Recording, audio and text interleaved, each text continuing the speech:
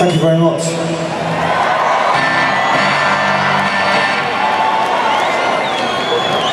Now it's your turn.